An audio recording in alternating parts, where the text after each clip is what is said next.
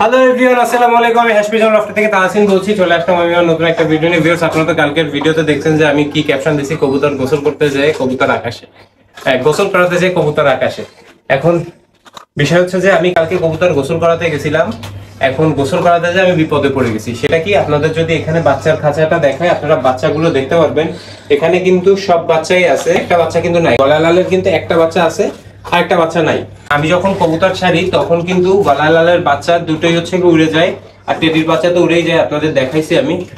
গলা লালের যে বাচ্চাটা মূলত ফিরে না সেই বাচ্চাটা কিন্তু মল্টিং এ ছিল। আমি ভিডিওতে দেখাই মানে বলছিলাম যে গলা লালের বাচ্চাটা হয়তো বা মল্টিং এ আছে। তো আহ, গলা লালের বাচ্চাটা মল্টিং এ ছিল। আর মূলত যেই কারণ ছিল গলা লালের বাচ্চাটা উড়ে যাওয়ার সেটা হচ্ছে যে আকাশে যখন আমি কবুতর উড়ে যায় আমি কিন্তু কবুতর তারা দিয়ে উড়াই না। কবুতরকে আমি আস্তে আস্তে বের করি। কবুতর যে ভয় পাবে, ভয়ও কবুতর পায় নাই, কিন্তু গলালের কবুতরটা উড়ে গেছে উড়ে গেছে আর ফিরে আসে নাই। এর কারণ হচ্ছে একটাই, সেটা হচ্ছে যে আকাশে যখন কবুতর উড়ে যায়, তখন আকাশে আপনারা দেখতে পারবেন, আকাশে কিন্তু প্রচুর মেঘ ছিল। এখন হয়তো বা এগুলো যেহেতু হাই ফ্লায়ার কবুতর, এগুলো কিন্তু মেঘের ভিতরেও চলে গেছে।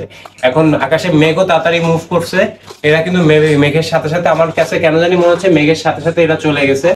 এখন যে অন্য কোথাও হয়তো বা পড়ছে গলালালের কবুতরটা গলালালের যে কবুতরটা চলে গেছে সেটা আর আসে নাই কবুতরটা আমি পাইও নাই। এখন কিছু করার নাই ব্যাড লাক আমি আগের দিন যে ভিডিও করছিলাম কবুতরদের হচ্ছে আমি বাইরে ছেড়ে গোসল করাইছিলাম সেই ভিডিওর লিঙ্কটাও আপনারা ডেসক্রিপশন বক্সে গেলে পেয়ে যাবেন। এটা সব থেকে বড় কথা কি যে পছন্দের যদি কোনো কবুতর মানে মিসিং হয় আসলে খুব খারাপ লাগে। আর আমাদের কবুতর জগতের মানুষরা মানে আসলেই মানে কি বলব মানে এদের এদের কিছু বলার নাই। কারণ একজন যদি একটু ভালো পেতাম একটা মানুষও কবুতর যারা পালেন আমি কবুতর পালক হয়ে বলতেছি আমাদের আমরা যারা কবুতর পালি তারা একটা মানুষও ভালো না। কেন ভালো না? কারণ আমরা যদি আমাদের লফটে কোনো কবুতর আসে পায়ে রিং পরানো যদি কোনো কবুতর আসে আমরা তার মালিকের কাছে কবুতরটা ফিরাই দেই না। এই যে যে আমার কবুতরটা উড়ে গেছে হ্যাঁ, কবুতরের পায়ে কিন্তু রিং ছিল পরানো। এখন কোথাও না কোথাও কবুতরটা গেছে। এখন কোনো একজনের বাসায় গেছে সে কবুতরটা পেয়ে ভাবতেছে যে, এই তো পাইছি একটা কবুতর। এই কবুতর নিয়ে আমি এখন উড়াবো বা এই কবুতরটাকে আমি এখন বাজারে বেচে দিব। এখন কথা হচ্ছে কি ভাই, আপনারা কবুতরটা বেচবেন কেন বাজারে? কবুতরটা মালিকের কাছে আপনারা ফোন দেন, যে কবুতরের মালিক সেই কবুতরের মালিক আপনার কাছ থেকে ফাউ ফুকু কবুতরটা নিয়ে আসবে না। সেই কবুতরের মালিক কিন্তু আপনারা বাজারে গেলে যেই দামটা পান, আপনাদের কাছে কিন্তু সেই দামটা দিয়েই নিয়ে আসবে। তাহলে আপনাদের বাজারে ভাই বেচার দরকার কি? কবুতরের পায়ে যদি রিং থাকে, তাহলে আপনারা কবুতরের মালিকের কাছে কবুতরটা দেন। শুধু শুধু স্যাঁচড়ার খাতায় নাম লেখায় দরকার আছে? এখন কিছু বলার নাই।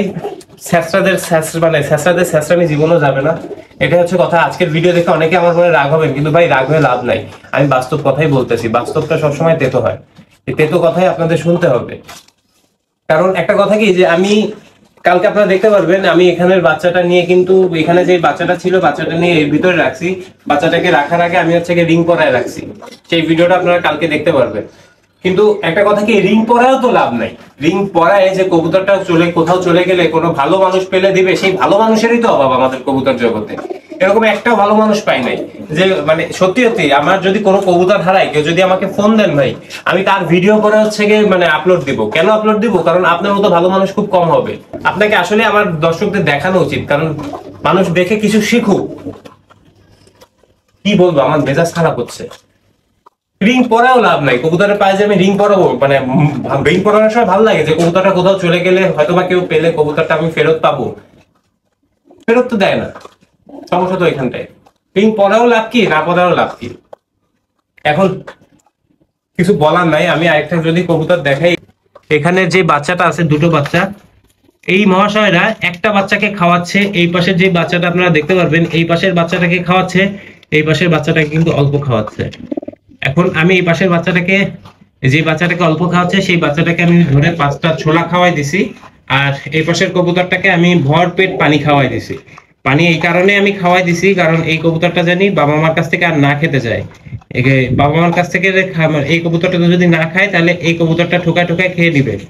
এখন তাও বাবা মা এই কবুতরটাকে খাওয়াচ্ছে না। কি জাজের বাবা মায়েরা বাচ্চা খেতে চাচ্ছে, কিন্তু বাচ্চাদের এরা খাওয়াচ্ছে না। একটা বাচ্চাকে খাওয়ায়, একটা বাচ্চাকে খাওয়ায় না। এই জোড়াটাকে নিয়ে আমি একটা জিনিসই বুঝলাম না যে বাচ্চা এত বড় করার পরেও বাচ্চাকে কেন খাওয়াচ্ছে না। যাক, দেখা যাক এই বাচ্চাটা কি করে। আমি তো যেহেতু পাঁচটা করে ছোলা খাওয়াই দিচ্ছি, ছোলা পানি খাওয়াই দিচ্ছি আমি। পেট আমি পুরোপুরি ভরি নাই, পেট আমি খালি রাখছি, জানি বাবা মার কাছ থেকে খুঁটে খুঁটে খেতে পারে। আর ওই পাশের কবুতরটার আমি কিন্তু ভরপেট পানি খাওয়াই দিছি। যাকে বাবা মা খাওয়াচ্ছে, তাকে কিন্তু আমি ভরপেট পানি খাওয়াই দিছি। শুধুমাত্র এই কারণটাই যে বাবা মার কাছ থেকে জানি ওরা খুঁটে না খেতে চায়। ভিউয়ার্স এই ছিল হচ্ছে আজকে লফটের অবস্থা। আজকে মন খারাপই বলতে পারেন, কারণ পছন্দের কবুতর মানুষের যদি হারায় যায় আসলে খুব খারাপ লাগে যে নিজের পছন্দের একটা কবুতর যদি অন্য কোথাও চলে যায়, মন মানসিকতা ভালো থাকে না। তো ভালো লাগলে অবশ্যই লাইক কমেন্ট শেয়ার এবং অবশ্যই অবশ্যই আমার চ্যানেলটা সাবস্ক্রাইব করে আমার পাশে থাকবে আসসালামু আলাইকুম।